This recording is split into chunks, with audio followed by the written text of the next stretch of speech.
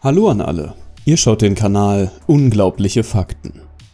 Die türkische Armee verfügt über eine Reihe von gepanzerten Fahrzeugen und Panzern, darunter der Kampfpanzer Altay, die minengeschützten Fahrzeuge BMC Kirpi und die gepanzerten Mannschaftstransporter Pars.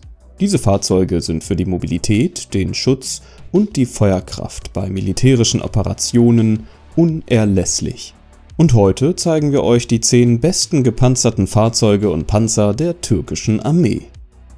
Kürpi Der Kürpi ist ein türkisches minenresistentes, hinterhaltgeschütztes Fahrzeug, das von der türkischen Firma BMC entwickelt wurde, um eine Anforderung des türkischen Landstreitkräftekommandos zu erfüllen. Minengeschützte Fahrzeuge wie der Kürpi werden in der Regel in Gebieten eingesetzt, in denen eine Minengefahr besteht dieses türkische Fahrzeug wurde speziell entwickelt, um der Explosion von Minen und improvisierten Sprengsätzen standzuhalten. Der Kürpi basiert auf den Fahrzeugkomponenten des Militärlastwagens BMC 235-16P. Seine gepanzerte Wanne bietet Schutz gegen panzerbrechende 7,62 x 51 mm Geschosse und Artilleriegranatssplitter. Dieses gepanzerte Fahrzeug hat einen V-förmigen Rumpf, der Minensprengungen ablenkt. Der Kürpi hält Minensprengungen stand, die einem Gewicht von 8 kg TNT entsprechen. Dieses Fahrzeug bietet je nach Konfiguration Platz für 6 bis 10 Fahrgäste. Pars der gepanzerte Mannschaftstransportwagen Pars ist eine neue Konstruktion, die von der türkischen Firma FNSS in Zusammenarbeit mit der amerikanischen Firma GPV entwickelt wurde der Pars wurde damals 2005 mit einer 8x8 Fahrgestellkonfiguration der Öffentlichkeit vorgestellt, ist aber auch in 4x4 bis 10x10 Konfiguration erhältlich. Der Pars ist modular aufgebaut und kann mit verschiedenen Bewaffnungen ausgestattet werden, einschließlich Außen- und Turmbewaffnung. Die Panzerung des Pars bietet einen Rundumschutz gegen panzerbrechende 7,62 mm Geschosse bei Bedarf kann eine Zusatzpanzerung angebracht werden. Das Fahrzeug hat eine V-förmige Wanne für verbesserten Minenschutz. Es scheint, dass die Minenexplosionen des Pars 8 kg TNT unter jedem Rad und 6 kg unter der Wanne entsprechen. Der 8x8 Pars hat eine Besatzung von zwei Personen und kann bis zu 12 Soldaten befördern. Anstelle der Truppen können über 8 Tonnen Fracht befördert werden. Arma 8x8 der gepanzerte Mannschaftstransportwagen Arma wurde als privates Unternehmen von Otokar entwickelt, um eine Anforderung der türkischen Armee nach einem amphibischen gepanzerten Radfahrzeug zu erfüllen. Dieses Fahrzeug hat eine geschweißte Stahlwanne. Es scheint, dass die Grundpanzerung einen Rundumschutz gegen panzerbrechende 7,62 mm Geschosse und Artilleriesplitter bietet. Für ein höheres Schutzniveau kann eine Zusatzpanzerung angebracht werden es ist wahrscheinlich, dass der Arma 8x8 Explosion standhält, die 8 kg TNT entsprechen.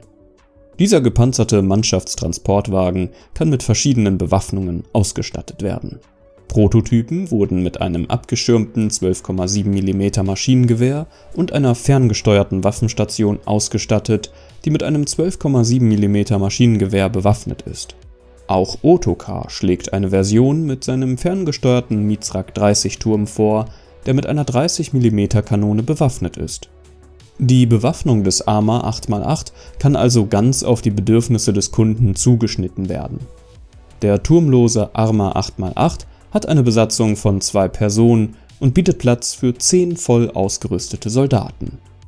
AV8 Der gepanzerte Mannschaftstransportwagen AV8 auf Rädern wurde von der türkischen Firma FNSS entwickelt er basiert auf dem FNSS Pars 8x8 APC. Der neue AV8 hat im Vergleich zum Pars einen verbesserten Schutz. Der Frontbogen bietet Schutz gegen 14,5 mm panzerbrechende Geschosse.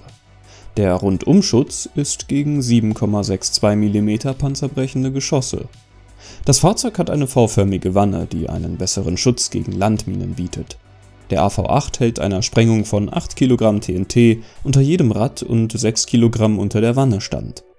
Die häufigste Version des AV8 ist mit einem Denel LTC 30 Zwei-Mann-Turm ausgestattet.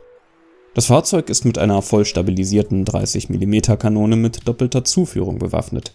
Außerdem gibt es ein koaxiales 7,62 mm Maschinengewehr. Eine weitere, jedoch weniger häufig anzutreffende Version des AV8 ist mit einer 25 mm Sharpshooter-Kanone und einem koaxialen 7,62 mm Maschinengewehr ausgestattet. Dieser gepanzerte Mannschaftstransportwagen hat eine Besatzung von drei Personen, einschließlich Kommandant, Richtschütze und Fahrer. Er kann etwa elf Mann befördern. Aida Yalcin der Aida Yalcin, ein neues Mitglied der Aida-Fahrzeugfamilie, ist ein taktisches gepanzertes 4x4 Kampffahrzeug, das von Nurol Makina entwickelt und hergestellt wird.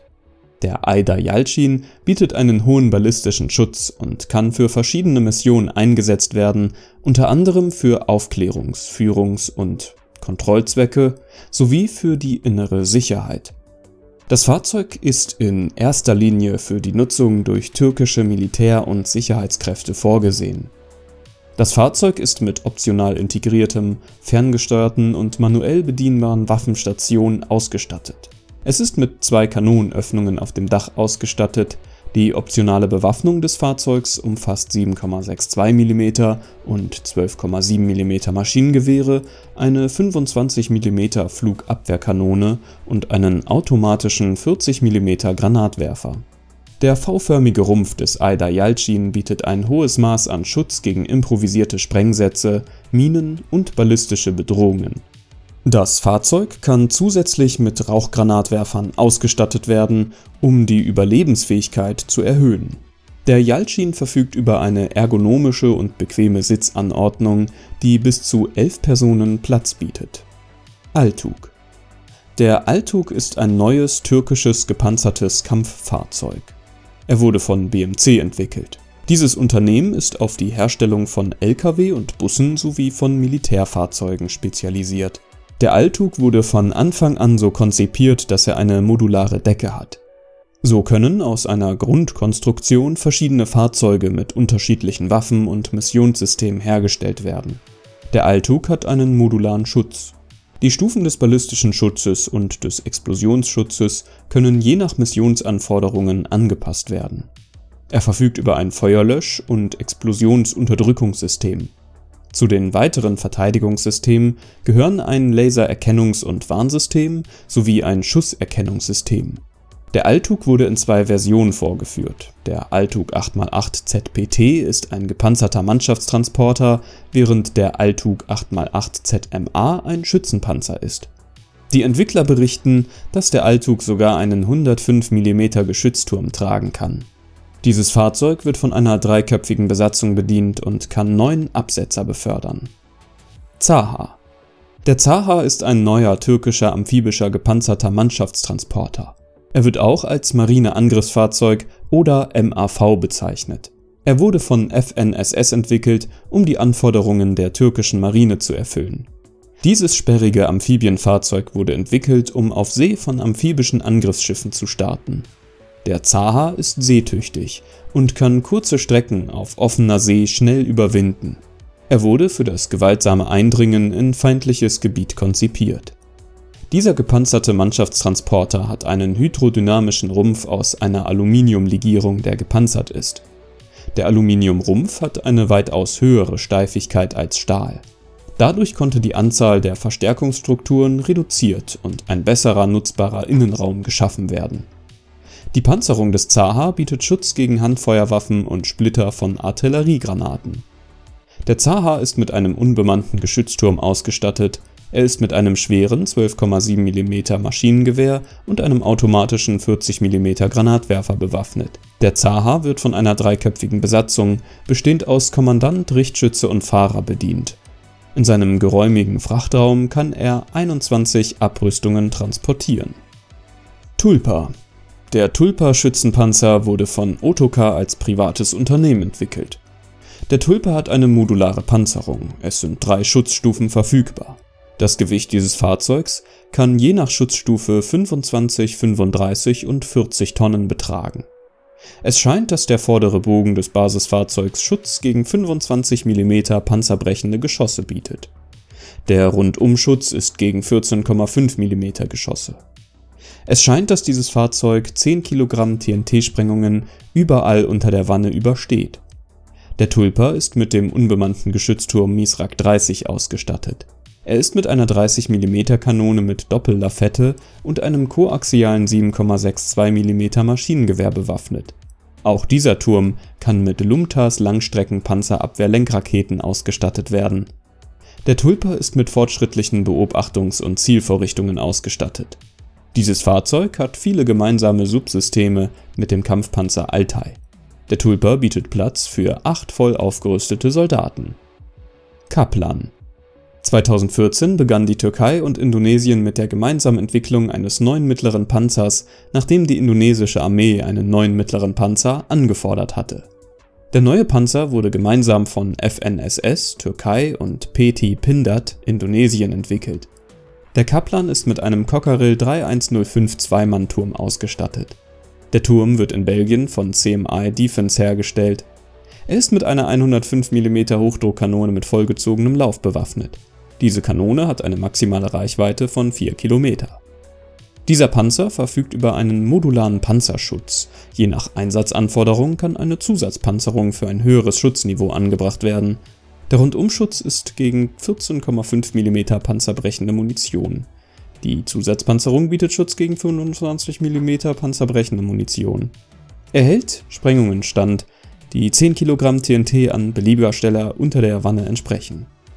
Altay Der Altay ist der offizielle Name des neuen türkischen Kampfpanzers. Er ist nach dem berühmten Kommandeur des türkischen Kavalleriekorps benannt. Die Auslieferung der ersten Altay-Panzer an die türkische Armee begann im Jahr 2023. Dieser neue Kampfpanzer ist konventionell konstruiert. Der Altay nutzt einige Technologien des südkoreanischen K2 Black Panther, ist jedoch eine andere Konstruktion und keine Lizenzversion des Black Panther. Der Altay weist auch einige Konstruktionsmerkmale des Leopard 2 auf, der von der türkischen Streitkräften verwendet wird.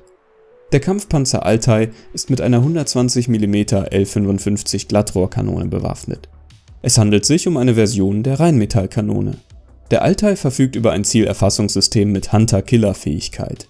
Der Panzerkommandant verwendet ein Panoramavisier mit Wärmesicht, um nach Zielen zu suchen Sobald das Ziel ausgewählt ist, wird das Geschütz automatisch auf das Ziel ausgerichtet und der Richtschütze führt den gesamten Ziel- und Feuerungsvorgang durch.